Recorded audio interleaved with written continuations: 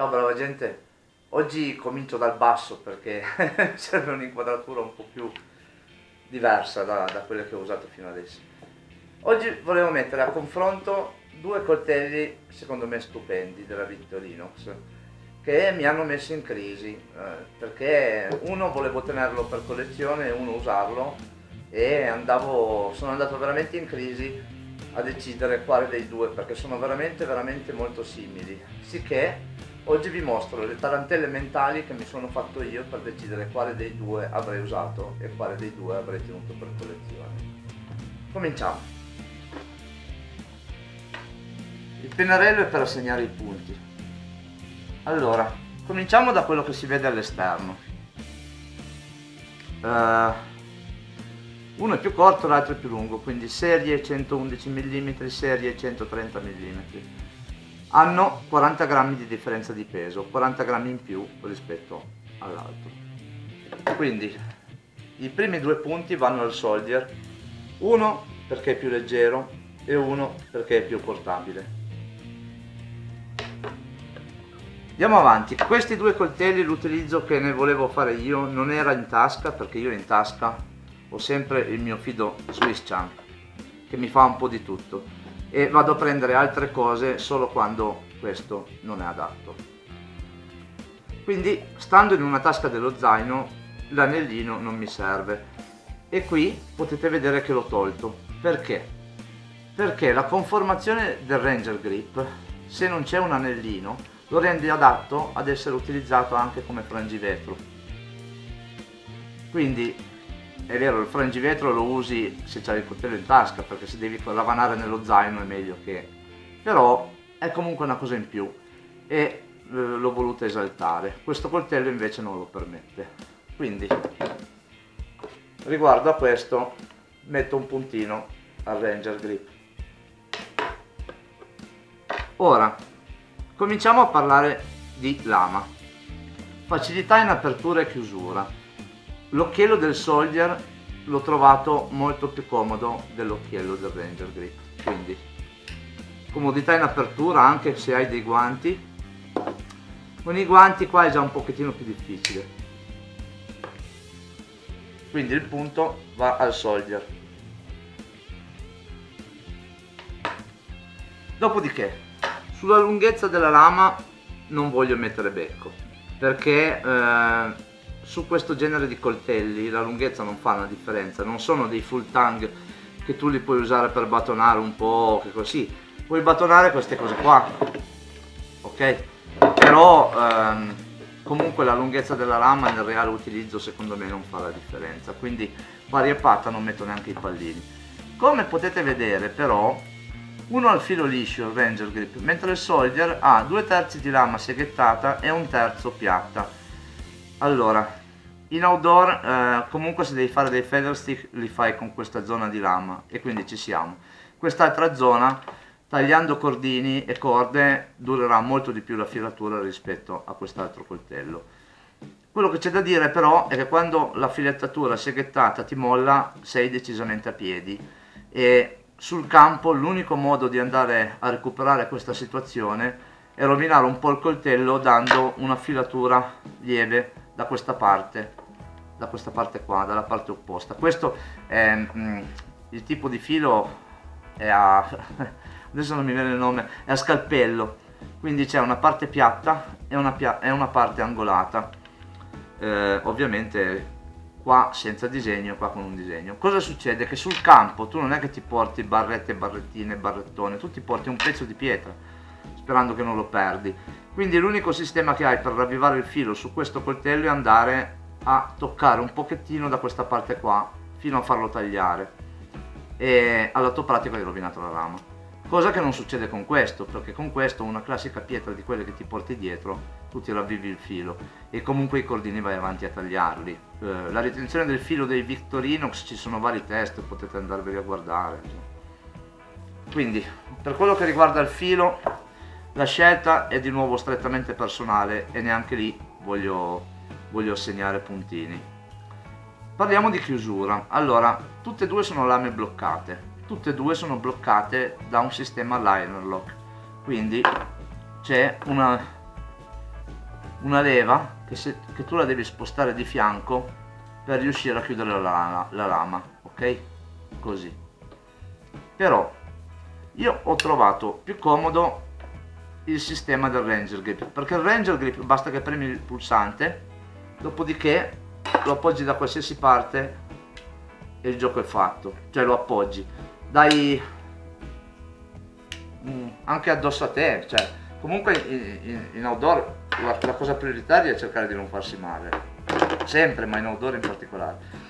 Questo invece ho trovato che dovendo spostare così di fianco poi è, è un po' più da manipolare perché io sposto così di fianco faccio sì che la lama sale sopra la, la staffa lock. Poi lo devo mm, vede mi è già scappato. Poi lo devo ruotare e spingere dentro. Cosa che invece con questo tipo di, di azionamento del liner lock non è, è più semplice insomma è più immediato più, più meglio più meglio cribbio. Bene. Quindi diamo un puntino al ranger grip. Ora passiamo alla sega.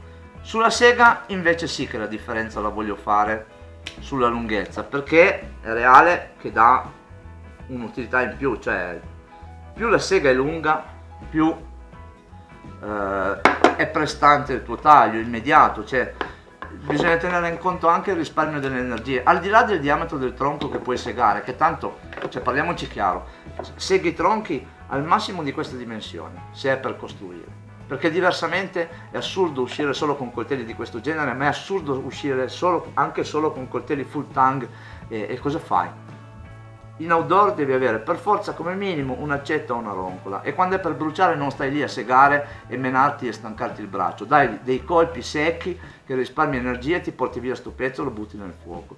Quindi questi coltelli in realtà possono avanzare il portarti una sega, no? di quelle lì a serramanico, perché se è vero come dicevo che la sega la usi più che altro quando il taglio preciso ti serve per andare a costruire per andare a costruire un diametro così di legno è più che sufficiente. E allora lì sì che entra in gioco la lunghezza. Come vedete facciamo che fare un confronto a tre ho tirato fuori anche lo Swiss Champ. Cioè ragazzi questa sega merita il punto in più. Quindi Ranger Grip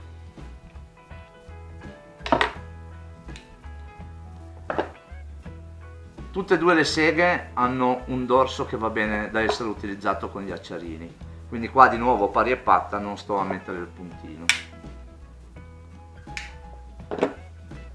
Passiamo ora agli altri utensili, quindi c'è l'apriscatole che è esattamente identico su tutti e due, è inutile stare ad assegnare punti, è quello della Victorinox, validissimo. Tra l'altro c'è un cacciavite qua che va bene anche con le viti a croce. Quindi nessun puntino. Ora passiamo invece al cacciavite piatto. Dall'altra parte cacciavite piatto apri bottiglie spiracavi e finché ce n'è. Li tiriamo fuori tutti e due. Come avete notato innanzitutto qua non c'è un blocco a 90 gradi. Cosa che invece c'è sul soldier quindi diamo un puntino al soldier. Dopodiché parlando di dimensioni questa larghezza qua io adesso non so se nell'ambito militare ci sono delle delle attrezzature io non me ne intendo io non ho neanche fatto il militare in realtà.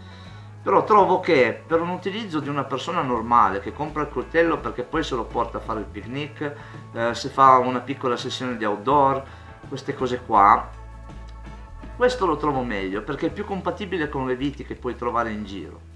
Quindi qua per quello che riguarda la forma anche qua la bottiglia è un po' troppo, troppo, troppo largo secondo me. Questo secondo me va meglio quindi.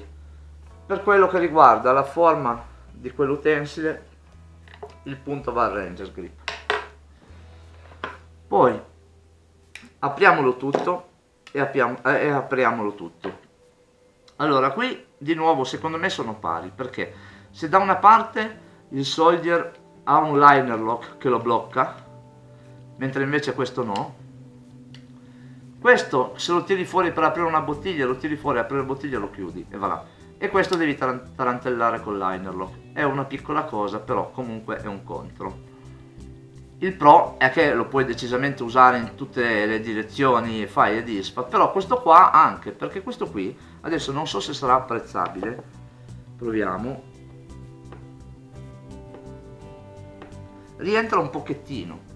Questo suo rientrare lo rende in realtà bloccato. Vedete che io posso dare anche di lato non... quindi comunque no, non è che è libero e non puoi usarlo per forzare da qualche parte e quindi questi due su questo aspetto li lascio pari. Adesso qua come dicevo c'è il liner lock andiamo a spostarlo.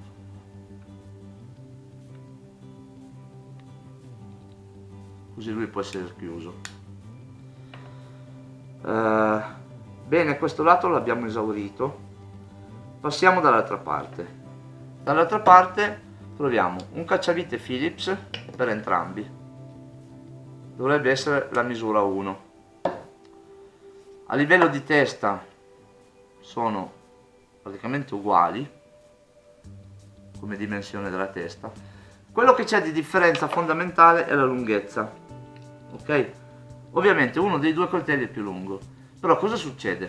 Che chi sceglie di avere un cacciavite anziché la pribottiglie nonostante che in realtà di cacciavite ne ha già un altro perché questo qua, come ho detto prima, lavora con le viti a croce. Quello che non può fare è entrare e andare in profondità. Quindi chi sceglie di non avere eh, l'apribottiglie, il cavatappi, eh, ma vuole un cacciavite lo fa per poter andare in profondità ad abitare. Quindi sotto questo aspetto qua, così come per la sega, la lunghezza assegna il punto. E andiamo su il Ranger Grip. Questo qua non lo so, ma di questo qua per esempio c'è una versione che è la 79 dove c'è la pribottiglia mentre io invece ho scelto questo che è il 78 proprio per avere il cacciavite.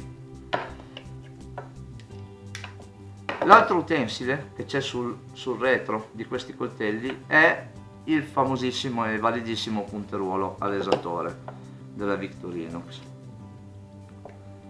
sono identici se non fosse che quello del Ranger Grip ha il foro che permette di eseguire delle cuciture rudimentali su materiali che possono essere ad esempio pellame o quelle cose lì. Ok, al giorno d'oggi è più che altro, cioè, non so chi è che realmente usi questo sul campo, però può succedere perché se hai per esempio uno zaino in pelle e ti si apre da qualche parte, però devi avere anche il cordino e allora sì puoi andare a fare cuciture. In ogni caso è oggettivamente un valore aggiunto, una cosa in più quindi qua è inevitabile assegnare il punto al Ranger Grip. Bene, potrebbe sembrare che abbiamo finito, ma anche no. Perché? Perché le guanciotte del Soldier non hanno nessuno scomparto, mentre quelle del Ranger Grip hanno due scomparti, dove da una parte c'è il classico stuzzicadenti, un po' più grosso, è più grosso di quello della serie da 91 mm, però questo lascia il tempo che trova perché se sei in un bosco a farti uno, uno stuzzicadenti ci metti 30 secondi netti. Quello che però è valido è che ci sia la pinzetta per due motivi. Perché nell'ambiente esterno avere dei dolori o farsi male è una cosa veramente da evitare il più possibile. Quindi una scheggia può creare problemi se non riesci a togliertela perché hai male perché potrebbe fare pus, infettarsi e comunque ti, ti, rende meno abile in tutto quello che fai dopo che ti sei piantato la scheggia. Questo è il caso, uno dei casi. L'altro caso è, nella stagione calda, umida, non è poi così assurdo trovarsi una zecca attaccata addosso. Quindi con questa pinzetta riesci a toglierla.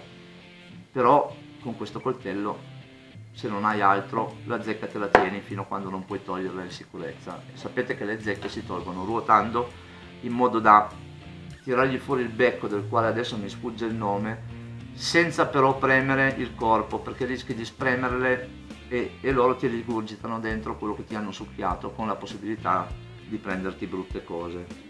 Quindi questa pinzetta non è da sottovalutare. Bene il confronto è finito. Spero che vi sia piaciuto vedere due bei coltelli battersela sul ring all'ultima utilità sono veramente fantastici difatti li ho presi tutti e due perché li adoro ovvio che eh, non mi piace sprecare, li adoro, ne ho altri di Victorinox, qualcuno lo uso, qualcuno lo tengo per collezione. E quando mi trovo di fronte a due modelli simili, il mio, il mio modo di scegliere quale usare e quale no è fare un confronto come questo cercando di essere il più oggettivo possibile. Ciao brava gente!